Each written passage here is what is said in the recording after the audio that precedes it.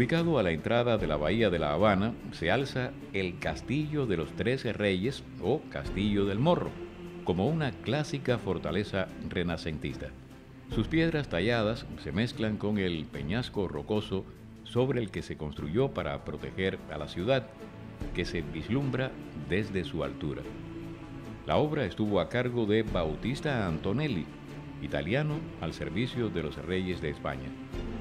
Todavía hoy se levanta majestuoso como un símbolo de La Habana y testigo protector de la ciudad.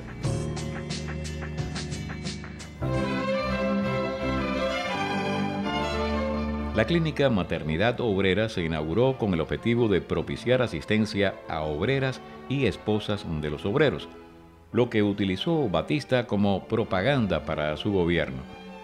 Su construcción, de estilo Art Deco, se destaca por su monumentalidad y belleza.